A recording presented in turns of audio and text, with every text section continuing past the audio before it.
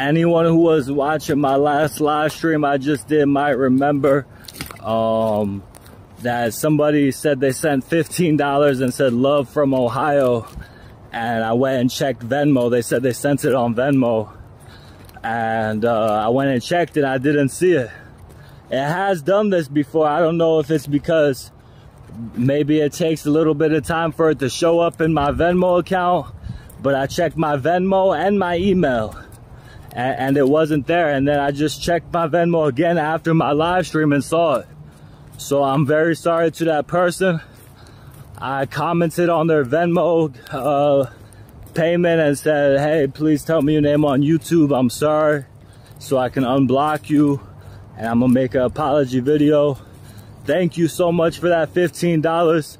I'm sorry, a lot of people just come on there and troll me and say they sent something when they didn't. So I'm sorry.